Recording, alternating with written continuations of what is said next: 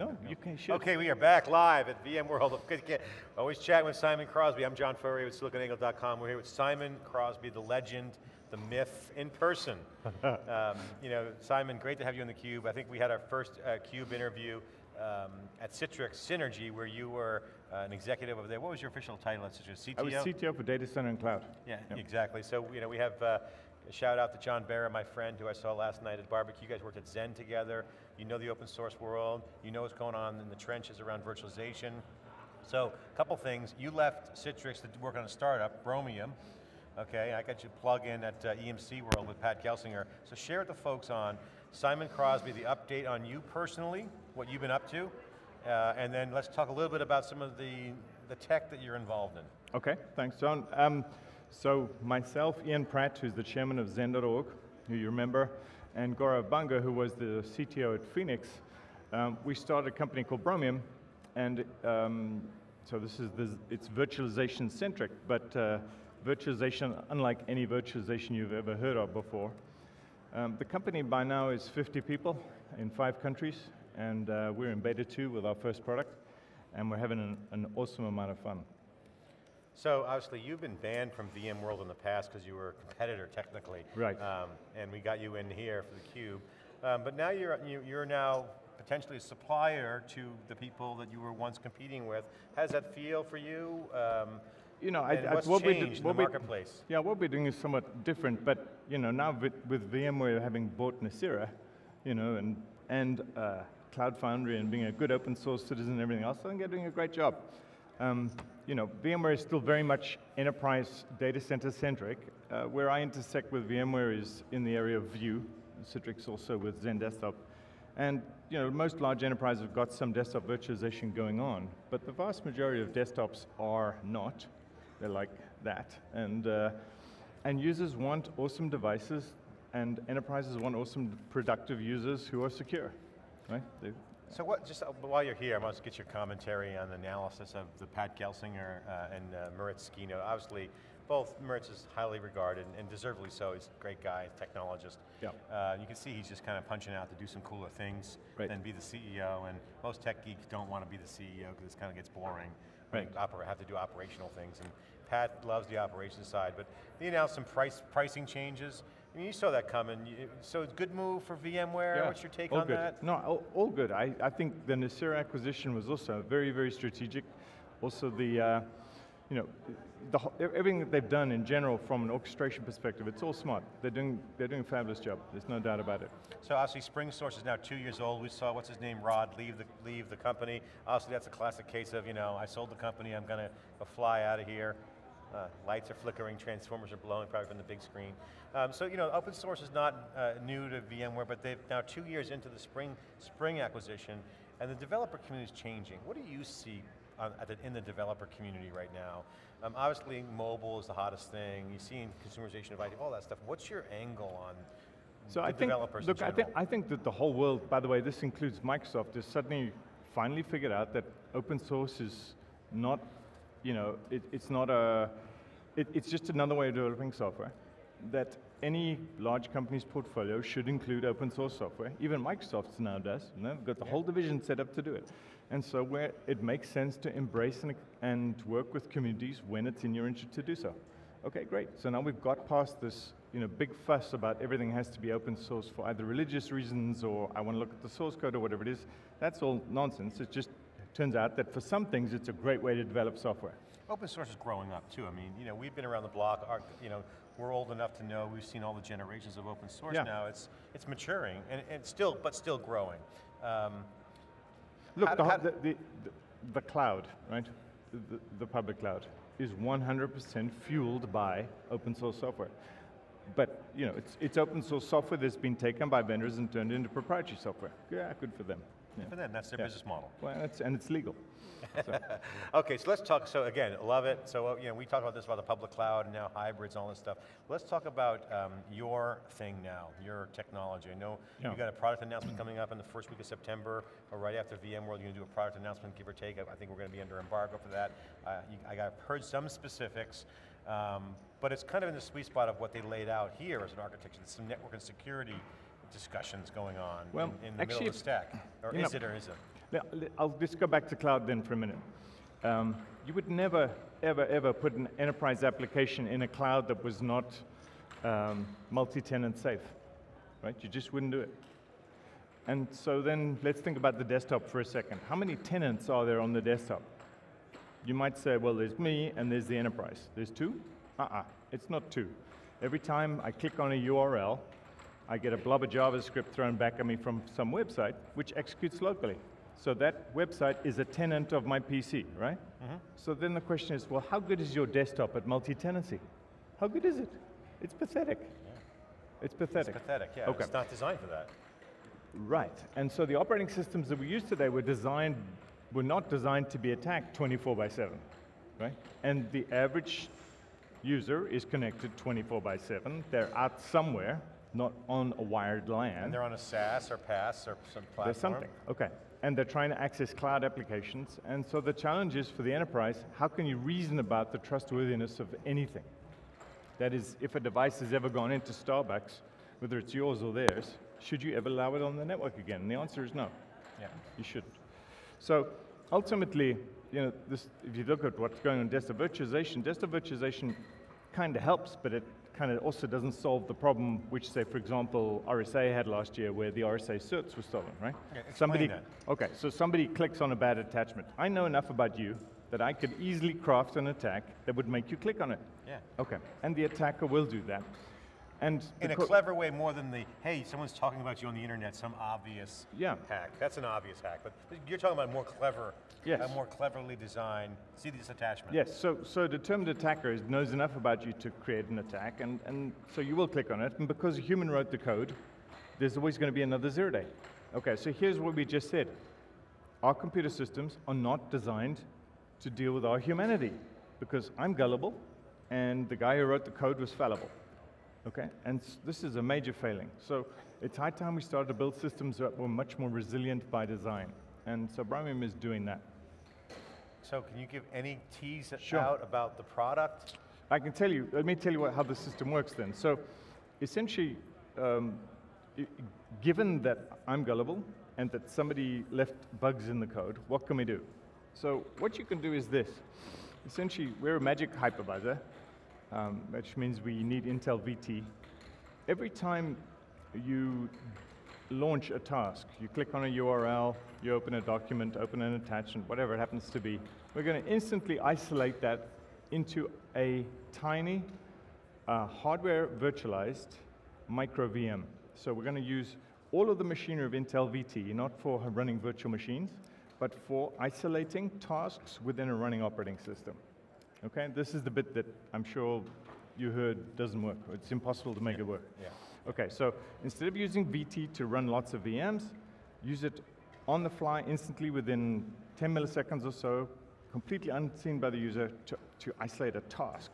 Okay, so you click on a link in Twitter, and I've got to put that thing into a box. And that box is going to be an Intel VT isolator box, which then operates with two additional key uh, um, properties. One of them is that it executes copy on write. So if the bad guy happens to end up in that micro VM and tries to stomp on the system, then all the changes that he makes will be local to the micro VM only.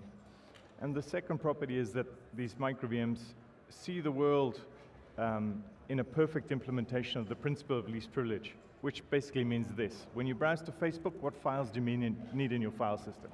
You need one. You need the cookie for Facebook, right? When you open a PDF document, what files do you need in the file system? You need one. You need so the basically PDF what, what you're saying is the web as we know it, the website-centric user experience is fundamentally flawed with the current user behavior of browser-based navigation and oh, interaction. Every time you go anywhere untrustworthy, anytime you plug a USB key in, anytime you click on an attachment, anytime you go anywhere on the web, you are interacting with stuff of unknown trustworthiness.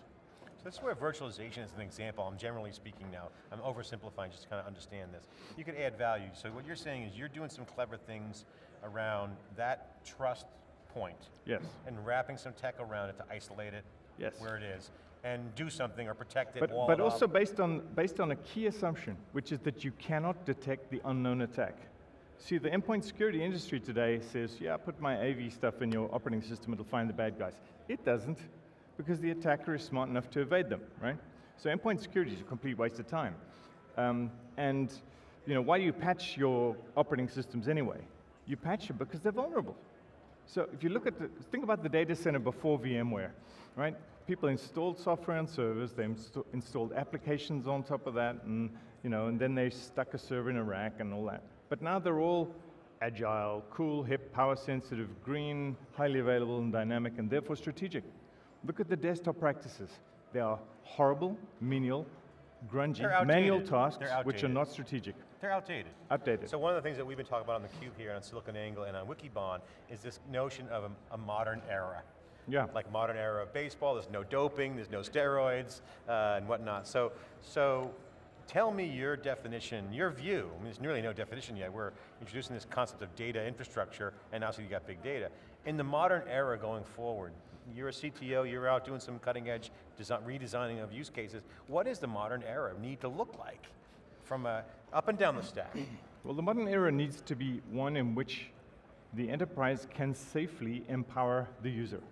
You see, if you look at the world that I described, the only thing that IT can do is lock things down. But by the way, you still can't protect against the RSA attack, which was an application layer attack.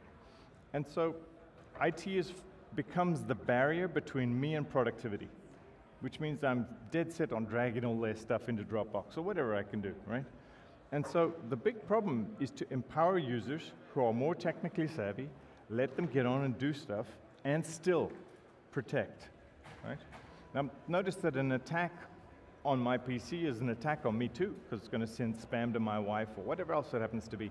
So the big, the big challenge is to allow us to walk this line between you know, where we have to legislate, which is IT, and where we can empower, and people want to be empowered. They want to be empowered when they're working.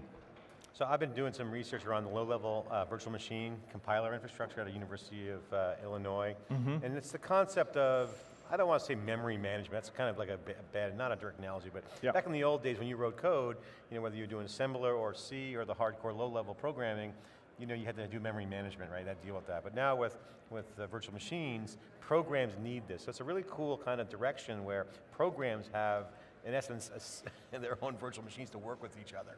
So it gets low level. This is kind of a, a concept that points to what you're talking about, which is as new technologies that are being developed that can actually deploy the kind of security, the kind yes. of orchestration. So, you know. Is that something around you're thinking around? It, it kind of is. Uh, that is another way you could say this, look, there are all sorts of application sandboxes out there, right? So the, the problem with sandbox, here's a good example of a sandbox would be Chrome, the browser Chrome, right? The problem is that they have to protect the kernel from a user space process, and that means protecting more than 2,000 Windows system calls, which means they've got to hook every one of those and land it somewhere safe. And that's a huge amount of new code that they've got to write. They've got to remain compatible with everything that ever ran and not introduce any more vulnerabilities. And so the only thing you can say about Chrome is they're doing a reasonably good job. They've been at it for 14 years, and there are still new zero days, okay? So, and it'll only ever work for the browser. The question is, what, what could you use as a general purpose isolation technology that is simple, has a tiny code base, and serves any application? Okay, that's the requirement and that's what we're building. So when you're obviously in beta or alpha, I don't know where you are on the product side, but you guys are out doing some work, talking to customers and suppliers or whatnot. Yeah. When you, when you walk into that first conversation, hi, I'm Simon, glad to meet you. Bottom line, here's what we do. How do you, how does that go? I mean, elevator pitch, whatever, the, that first, you know, here's what we do. What do, how do you describe it? So do you use the RSA hack as an example? Because it's kind of complex. How do you Actually, you know, every large enterprise is being actively targeted. And right now we are talking to large enterprises, not to All large enterprises are, are being that targeted, would you say? Every large enterprise is being actively targeted by hackers. persistent malware, yes. Yeah. And they all get it. Every single CISO out there gets it in, in a heartbeat. They know that they cannot secure the endpoints. And by the way, this, this applies not only to PCs and Macs and so on, it's got to apply to mobile devices like tablets, right? Otherwise, you know, how not, can you... This is not a nice to have, this is a strategic imperative on all enterprises. It's the right way to build software, absolutely. Make, okay, make okay. software in, in a way which is resilient to the fact that we as humans are going to make mistakes. All right, so talk about the company now. How many people are working 50 there? 50 people. 50, yeah. funding?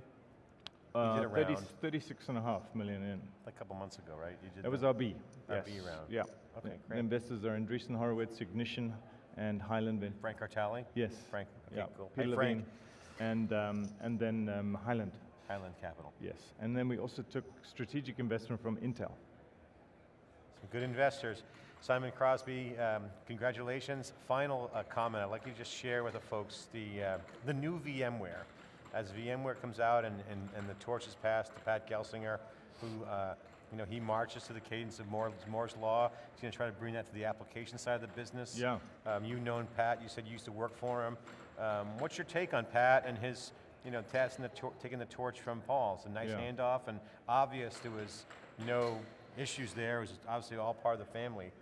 What's your Oh, take absolutely. on that? Look, Pat, I think the will of Pat. I think he's a fabulous leader. He's a, a, a, a leader who leads from the front. He's a rallying point for anybody. He has bring great vision and great energy to the job. I think he's a terrific guy. And I think VMware is going, going great. So, I, you know, my, I'd say that this whole cloud thing in the enterprise, you know, it's, it hasn't really started yet. Yeah, you know, people are still doing more server of and that's fine. It's just a process we've got to take people through. And, and I think we all underestimated the rate at which that would happen.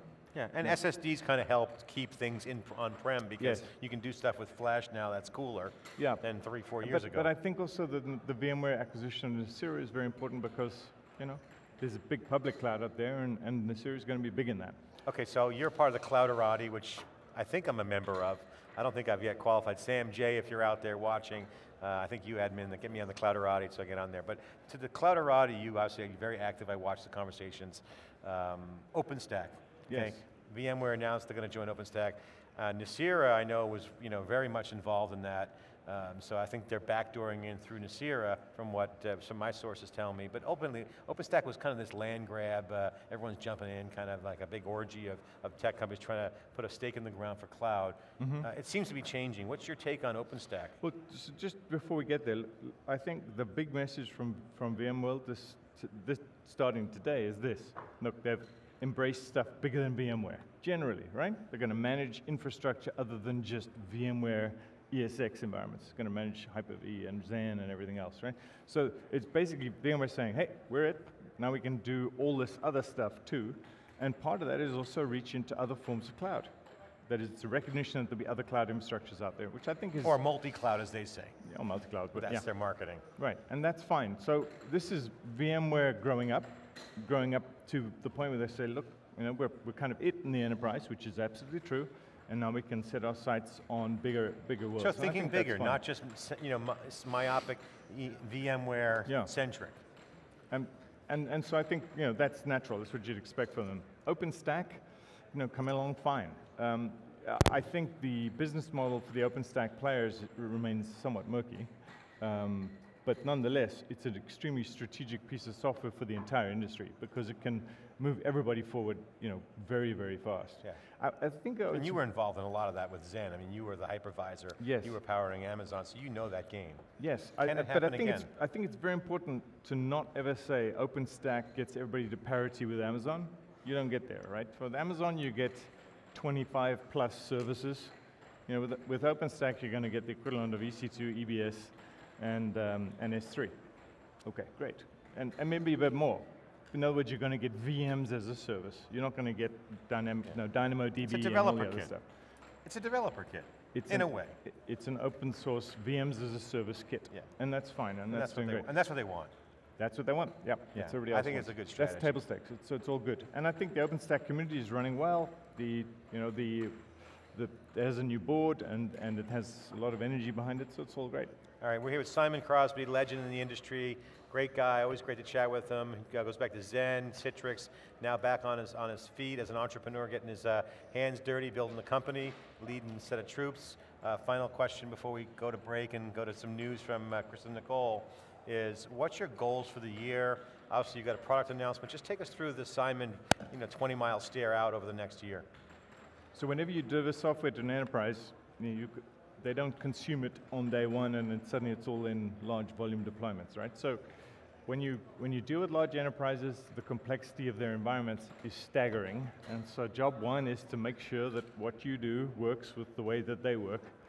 Um, one of the cool things we've managed to do at Bromium is this. No new management console, no new IT skill set required, just works with what you have. And that was a key requirement. We didn't want to introduce more management stuff. Um, but it's, you know, the process is a process of just working with customers. So we set ourselves a goal of, you know, work with 20 customers this year and get them to be delighted. And then we'll go. Then we'll, then we'll figure it out after and build that. from there. Okay, Simon Crosby, always great to have you. This is theCUBE, I'm John Furrier with siliconangle.com. Go to siliconangle.com, you'll find that's the reference point for tech innovation. Uh, we do some news, but we go deep, we try to go deep on the tech trends. The next big thing we believe is data infrastructure. We're going to break that down and build on that theme where data is at the center of the value proposition. Obviously cloud, mobile, and social will continue to cover the cloud, and we'll see some new security stuff. Congratulations, and look out for Bromium next couple of weeks, big product announcement. Simon Crosby here on theCUBE. We'll be right back after this break with uh, some news from Kristen Nicole. Thanks, John.